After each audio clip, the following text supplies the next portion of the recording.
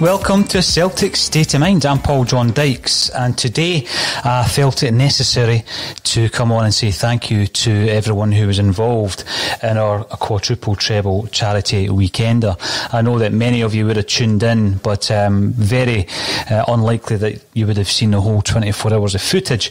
So, what I wanted to do is to come on and say thank you and to share some of the um, videos that we actually received from the world of football and entertainment that you may not have seen when you tuned in uh, over the weekend itself. We have uh, raised over £26,000 uh, along with your assistance, thanks to your assistance. And I want to thank everybody who donated, um, however much they were able to donate. It's all accumulated to an incredible amount that will be going out to four charities Rock Talk, Help for the Homeless, Children First, and Food Facts Friends. That's helping food banks, vulnerable children, the homeless, and and mental health.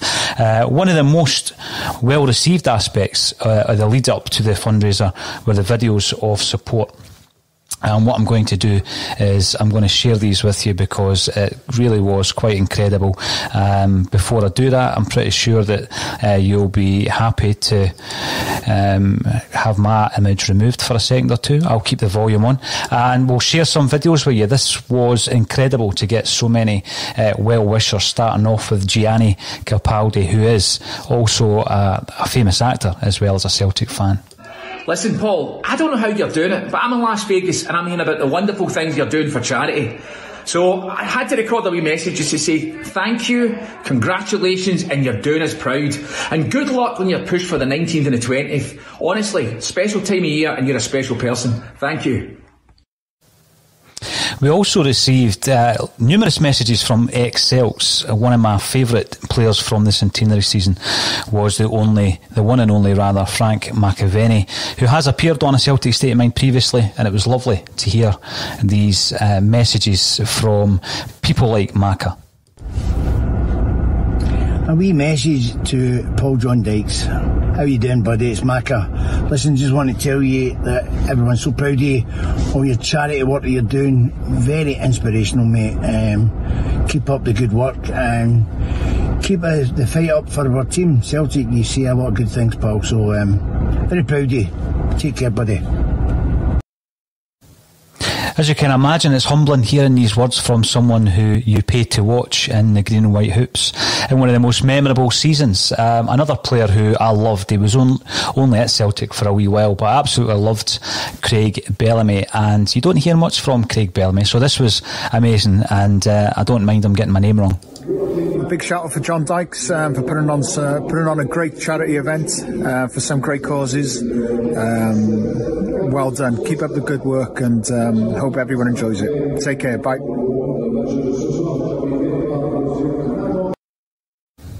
The one and only Craig Bellamy, now the under 21s coach at Anderlecht. Um, Alan Thompson, another brilliant signing under Martin O'Neill. Uh, he lent his support by getting in touch as well, and this is what Tomo had to say. Hi, Paul. It's uh, Alan Thompson here. Um, just want to say keep up the great work with the uh, Celtic State of Mind charity. Um, absolutely inspirational. Um, fantastic. Keep it going. And all the best for the 19th and the 20th of December. Fantastic. And have a great Christmas. Hail, hail. Brilliant words from Tomo.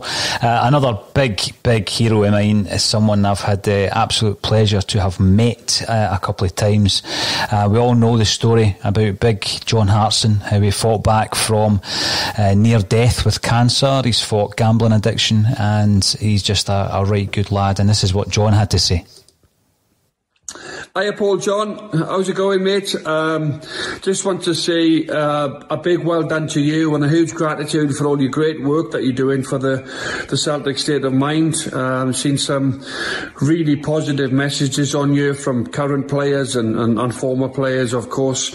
Um, the reason they're sending their best to you, mate, is because they respect you, because you're a great host and a really nice fella. So good luck on the 19th and the 20th. Hope you raise lots of funds for great causes, and I wish you well, mate. All the best. Top, top man. This is where it got a little bit interesting. This is when some of the faces from the world of entertainment got involved.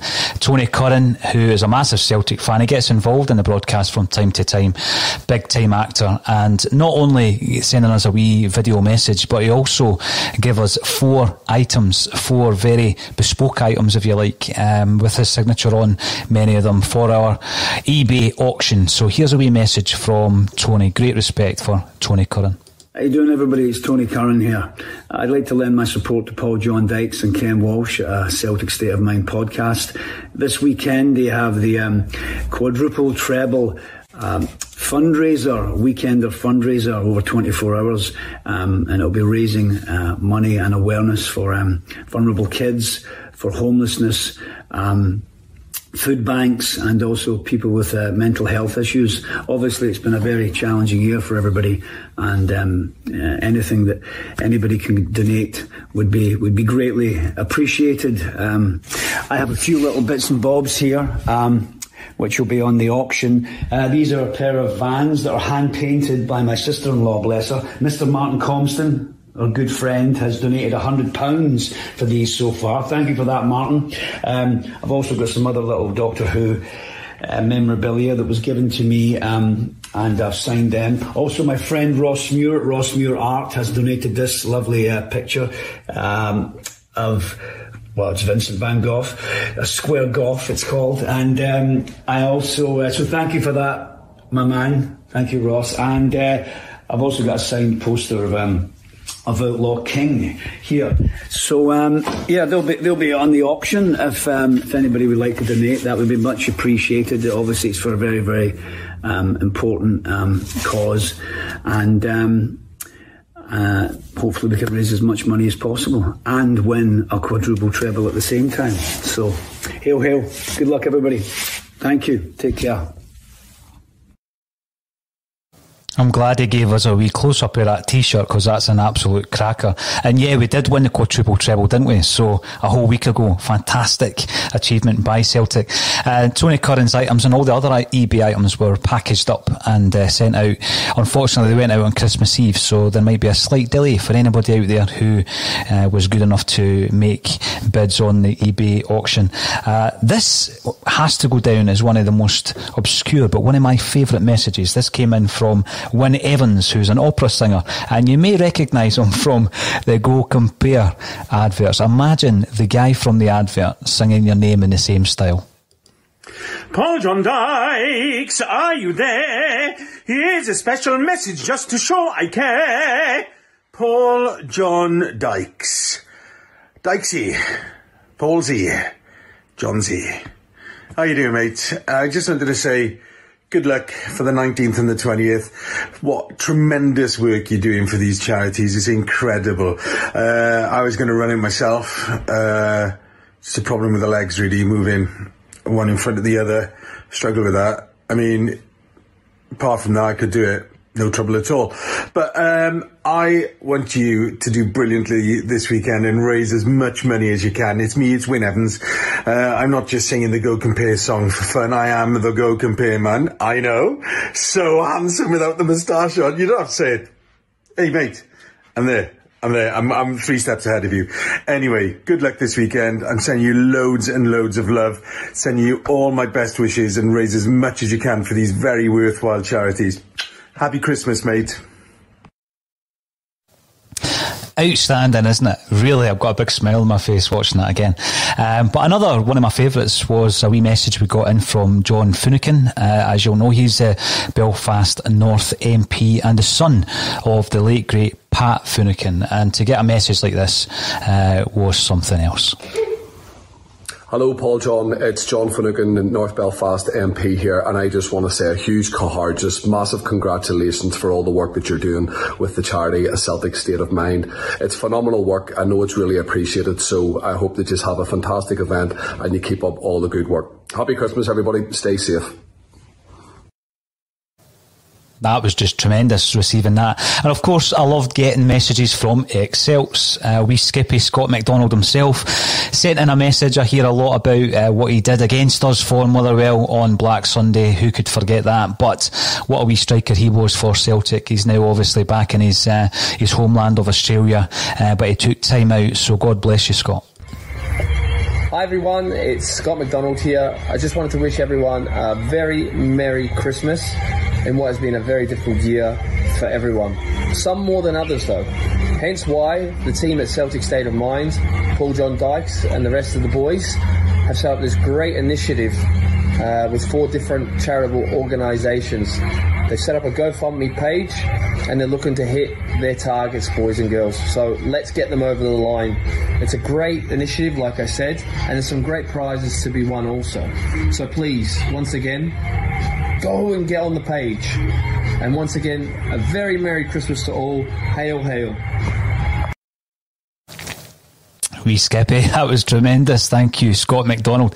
Um, a couple of others came in surprisingly. Uh, Mark Bowen, you might remember Mark Bowen as a, a stalwart for the likes of Tottenham Hotspur, Norwich, and West Ham. He went on to become a very highly rated coach, most notably um, under the uh, tutelage of Mark Hughes. He often works with Mark Hughes. So Mark Bowen, uh, Welsh international internationalist, had this to say about ACSOM's fundraising endeavours. Hi there, Paul John. It's Mark Bowen here. I'd like to wish everybody the very best for the upcoming weekend with the Celtic State of Mind and the quadruple treble charity event you've got coming up. Good luck to everybody. Hope you raise a lot of money and hail, hail.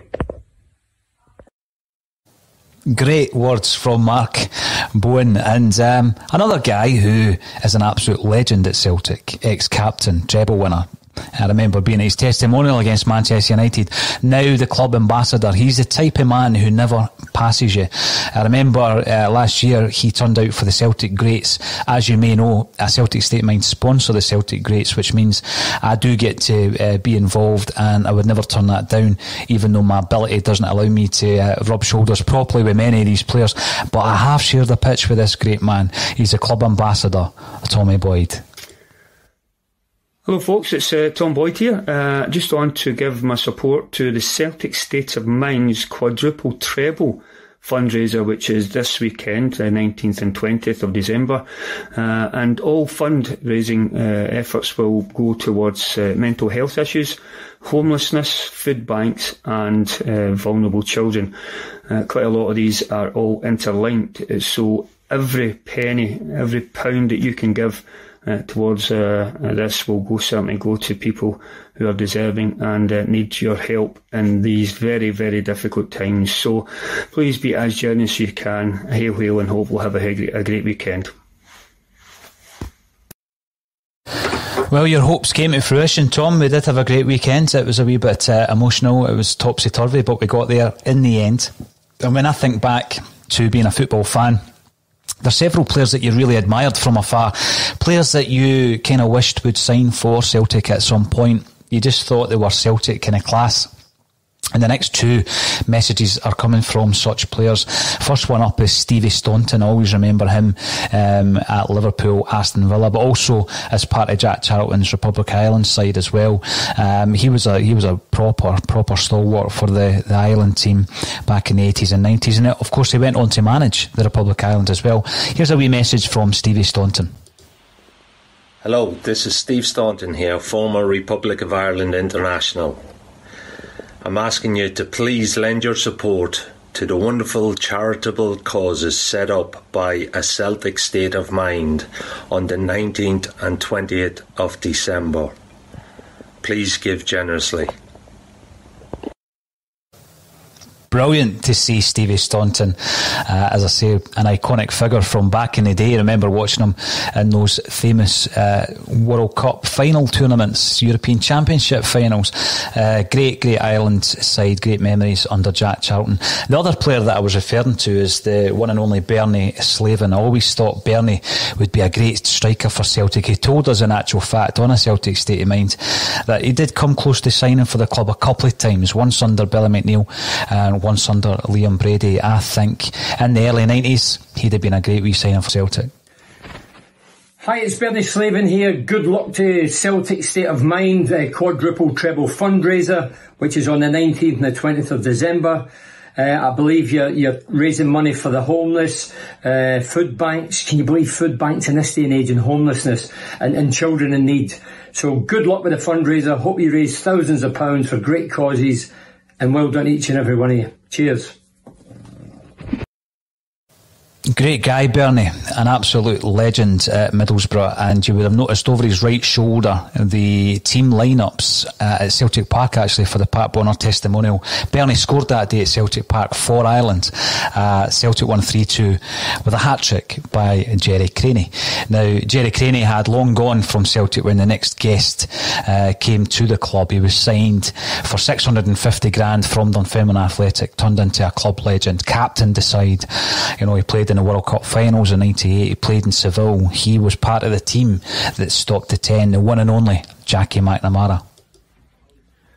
Good luck to Paul John Dykes and the Celtic State of Mind podcast this on the 19th and 20th. Uh, great work, guys. Do a lot of good work for charity and I hope it goes well for you. All the best. Hail, hail.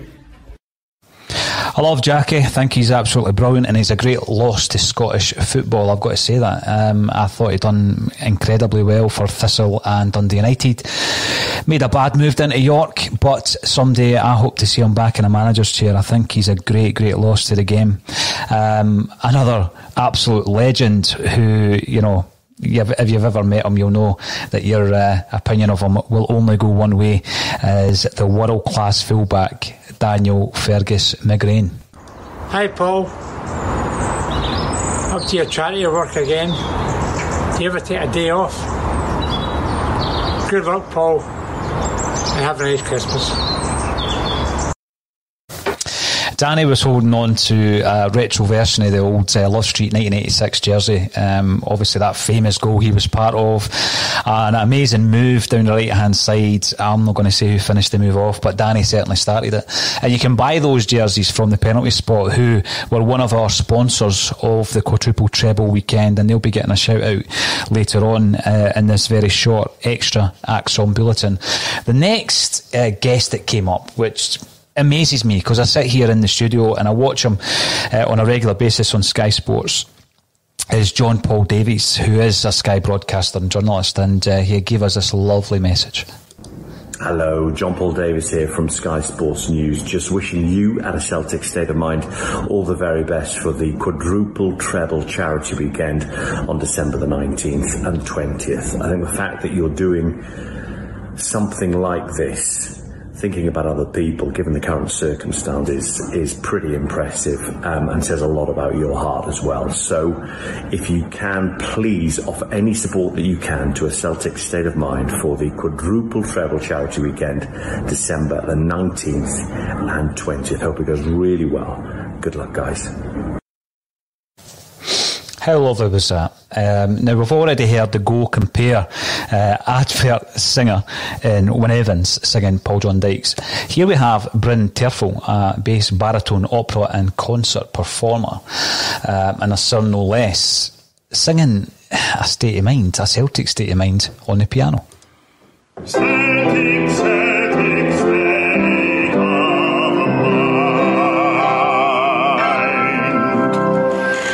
It's Bryn Terfel here.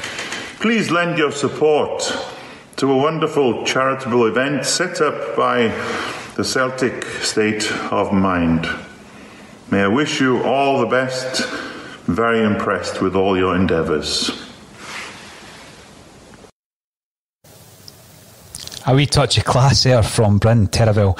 Um, and we also got some surprising ones from ex players. And here is Swansea City icon. He's now a youth team coach and club ambassador. It's Lee Trundle.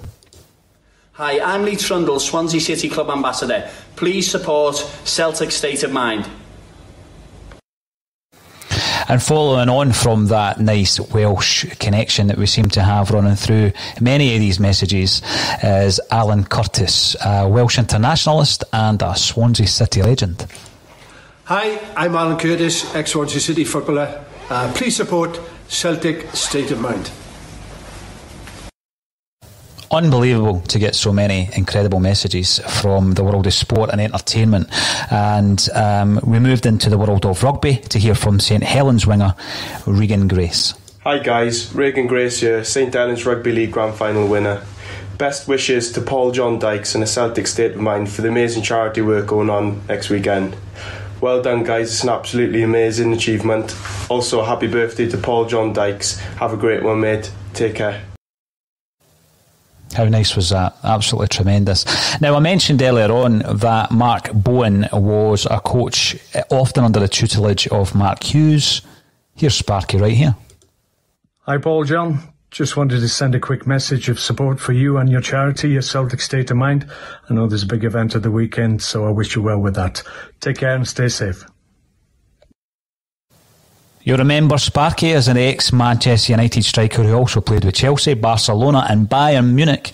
He has managed 610 games at international or EPL level. Would you have him back up at Celtic Park? Um, has he even ever played here? I know that when we played the testimonial, it was down at Old Trafford. Would you bring him up, him and Mark Bowen? Who knows what might happen in the future. Uh, another Welshman, this time Johnny Owen, an actor, a director, and the man behind The Three Kings, which if you haven't already seen it, you should check it out. And a guest appearance from none other than Vicky McClure.